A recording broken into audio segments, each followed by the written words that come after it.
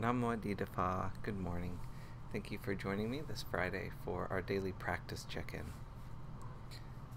Listen, listen, listen.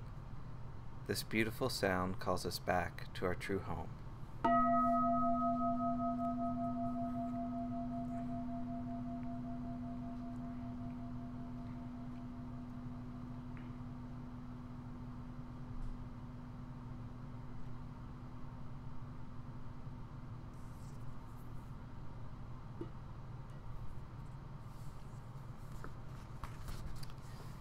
The fifth wonderful precept.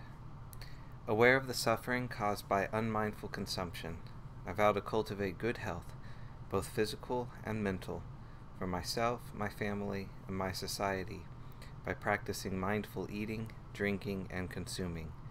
I will ingest only items that preserve peace, well being, and joy in my body, in my consciousness, and in the collective body and consciousness of my family and society. I am determined not to use alcohol or any other items that contain toxins, such as certain TV programs, magazines, books, films, and conversations. I am aware that to damage my body or my consciousness with these poisons is to betray my ancestors, my parents, my society, and future generations. I will work to transform violence, fear, anger, and confusion in myself and in society by practicing a diet for myself and for society. I understand that a proper diet is crucial for self transformation and the transformation of society.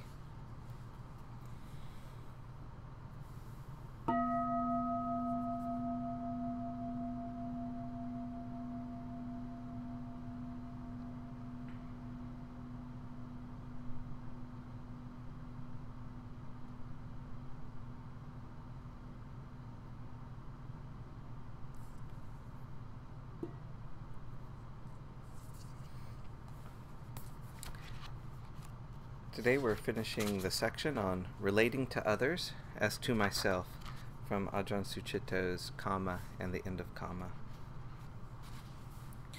For this, we attune to the bodily experience of sitting or standing here. That has a grounding effect.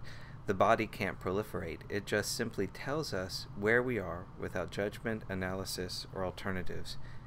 Then there's the heart sense, to establish goodwill towards oneself However, both body and heart sense also need to be specific. And for this, there's the rational attention which can focus on what steadies the body and uplifts the heart. This is again just simple stuff, such as attuning to posture or some or some recollection of the Buddha or of spiritual friends. The main point is to do it, to trust that simplicity above one's powerful and fascinating proliferations and to do that rather than figure oneself out or create a huge psychodrama of personal history. So we train the rational mind to be a witness of our kammic tendencies rather than an analyst or storyteller. We simply witness the bodily aspect of our experience, which can't create the stories that the heart can. Then we can bring body and heart together in a supportive way by acknowledging that right now the body is free from harm intrusion, or obstruction, and then encouraging the heart to really get the sense of that.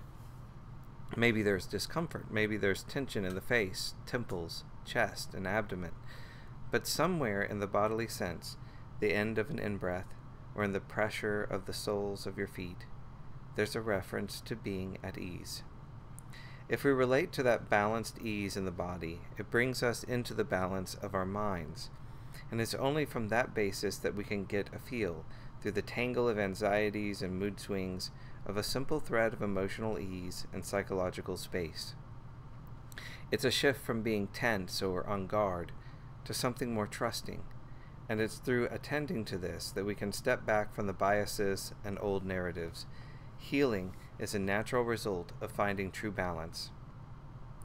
As we find balance and the energy settles, we can extend the quality of that trust and benevolent intent into all the tissues and structures of the body, then extend that into the space around us.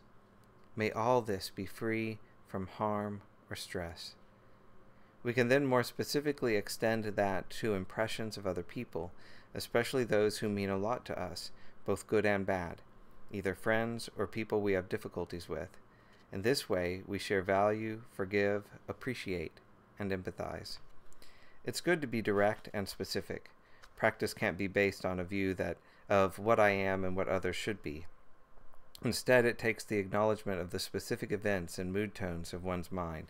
At this moment, the feeling is this. The impression is this. It's really just this agitation, or hurt, or want, and it's just like anyone else's. At that point, we can be with that and not create self around it. And so it is with others' behavior as it moves our minds. The feeling is this. The impression is this. I don't have to pick up their actions. May they be released from it. Rather than embed self or others in karma, we learn to forgive or acknowledge with gratitude, but always with the spaciousness to release them from projections. This is equanimity. This is what is needed to be able to share one's practice with others.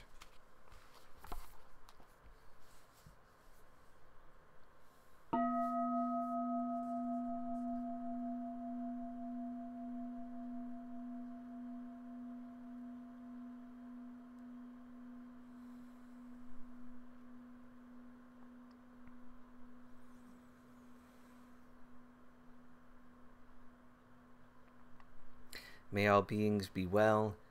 May all beings be happy. May all beings be peaceful. Sadhu. Sadhu. Sadhu. Thank you for joining me this morning. Hope you have a lovely weekend, and we'll be back again for daily practice check ins on Monday.